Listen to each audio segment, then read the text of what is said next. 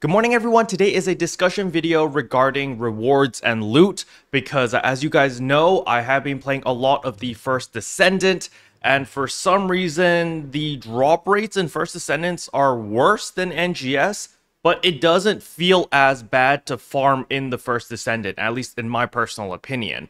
But before we jump into all of that, if you're new to the channel, I upload NGS content daily, so if you do play this game, I would really appreciate a subscribe, as it really helps out the channel. Anyway, without further ado, let's begin the video.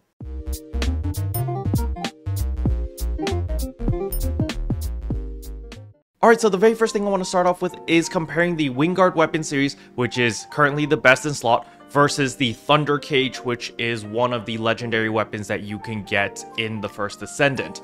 And the main comparison I want to do is, of course, the drop rate, first of all. So, the drop rate for the Wingard series is relatively low. This weapon has been out for almost 5 months, and I still know plenty of people who have never seen this weapon drop. So, uh, you know, it is still incredibly rare. However, the moment it does drop, it's fully completed or you don't need to put it on anything else. You just enhance it to 90, you limit break it, you weapon potential, and you throw in your augments and you're done, right?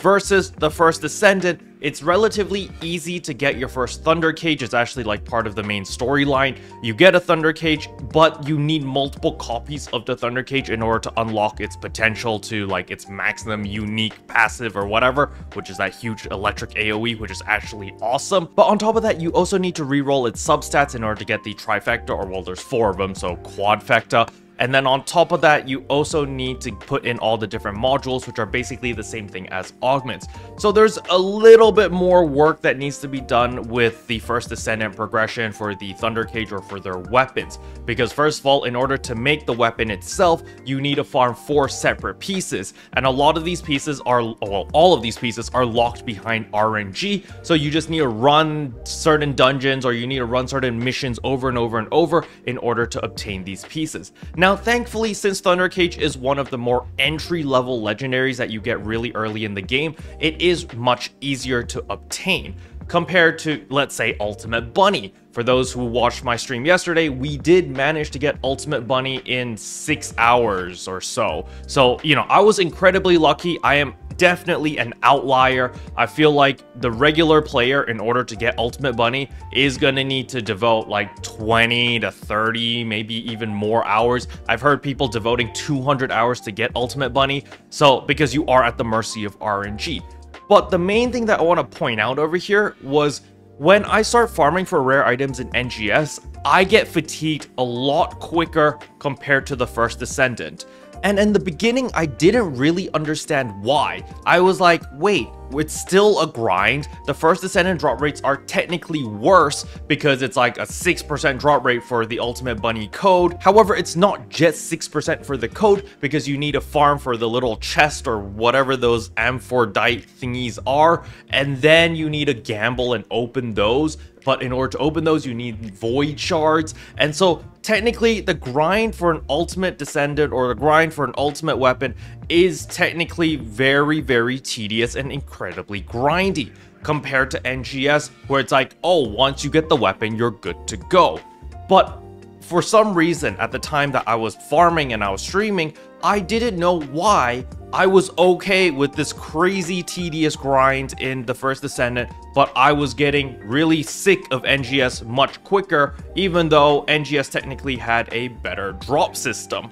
Um, and what I figured out, or what I feel is the main difference, is twofold. The first one, chat was the one that actually convinced me about it, was when you get a Thunder Cage, when you get an Ultimate Descendant, it is game changing. You know, the moment you get like Ultimate Bunny, the moment you get a ultimate weapon or legendary weapon, it really changes the way that you play the game. It's like, wow, the game is significantly easier. I, I don't know if you guys can hear the thunder, but it's thunderstorming outside right now. I'm talking about thunder cages and stuff like that, right?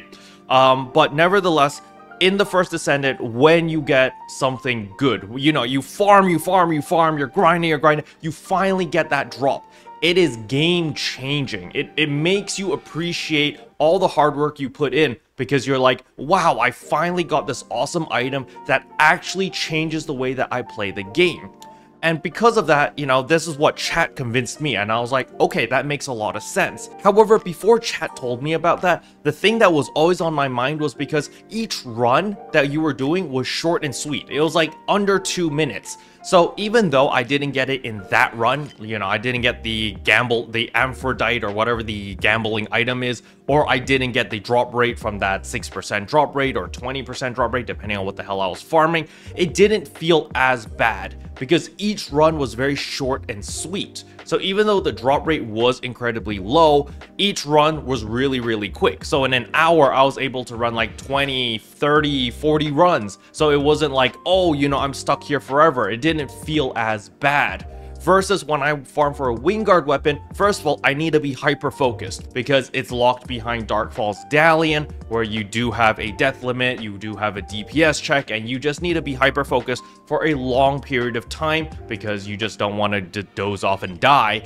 And, um, you know, each fight or each run does take about 12 to 15 minutes, depending on your DPS as well as your group. So at the time I began to think, I was like, okay, maybe that's why I'm a little bit more fatigued when it comes to farming in NGS. It's because I always need to be focused and then in an hour I can only do four runs so it feels worse that I don't get this drop or if the drop rate's incredibly low because I only get four attempts every hour. So maybe after like a three or four hour grind session, I'm just mentally drained and physically drained and I'm just like, oh, I don't want to farm anymore.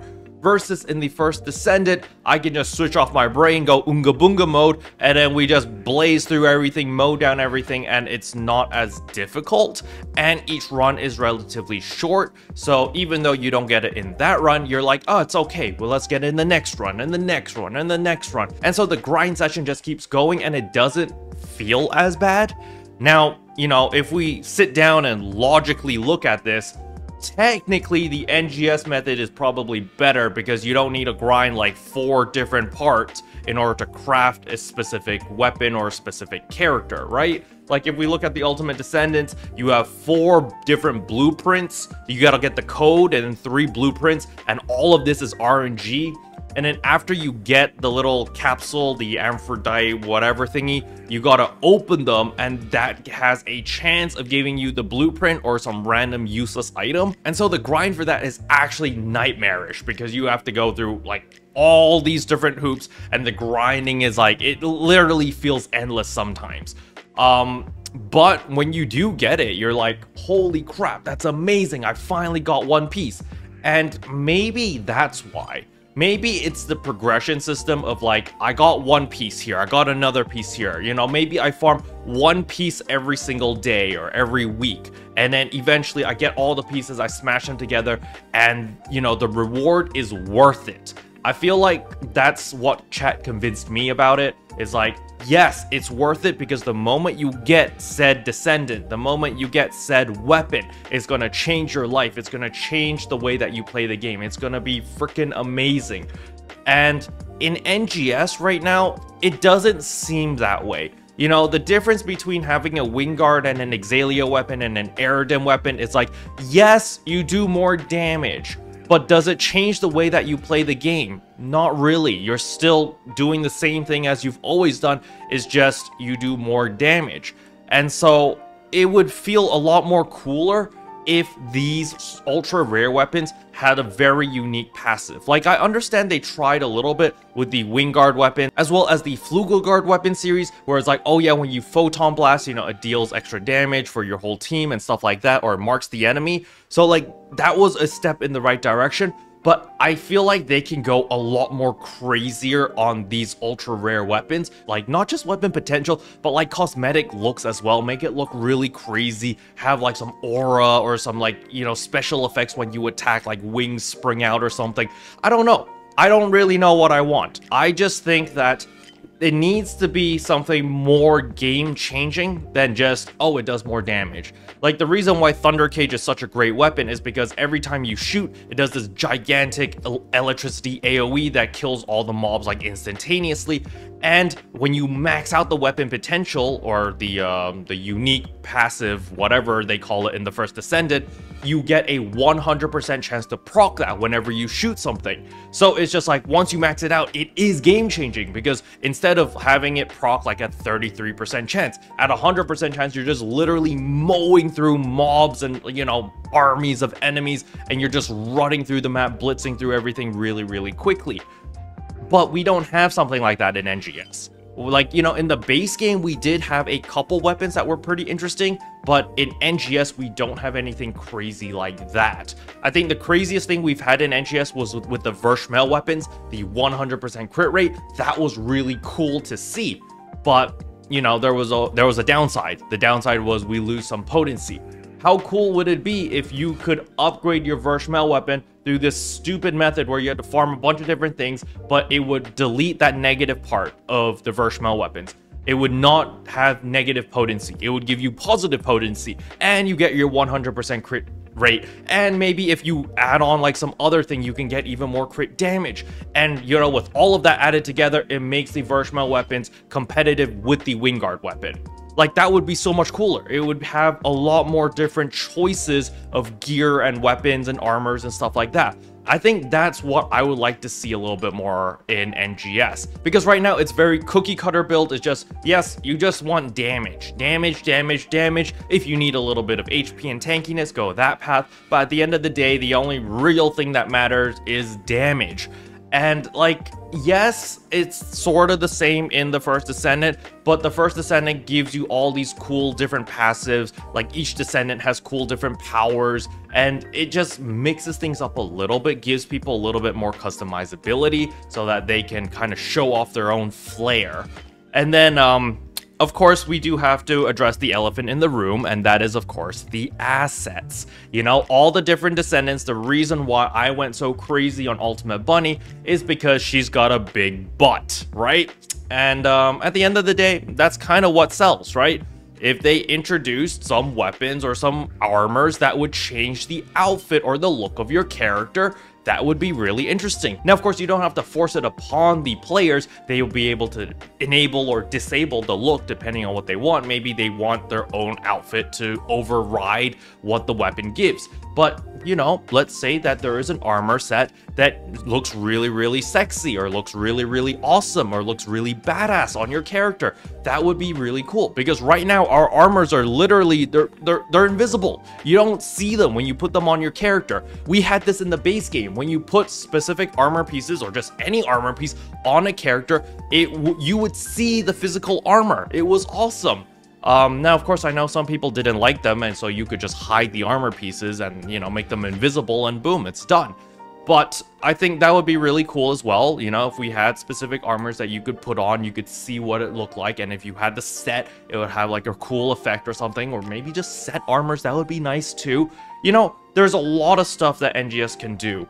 Um, but at the end of the day, NGS's development team is relatively small, so changes are really slow, but it's just something that I noticed when I was playing the First Descendant yesterday, and you know, I'm gonna continue to play the First Descendant the rest of the month probably until uh, October because there's not really much to do in NGS right now other than the dailies. Now, another thing that I noticed earlier today when I was farming the LTQ is there's actually a little limited time task over here where if you complete it 15 times the LTQ, you actually get 500,000 Meseta. So I thought that would be pretty interesting to just point out because you know 500 500,000 Mesetas, no small amount. That is a decent amount of Meseta. So uh, if you haven't done so already, you know, take advantage of this.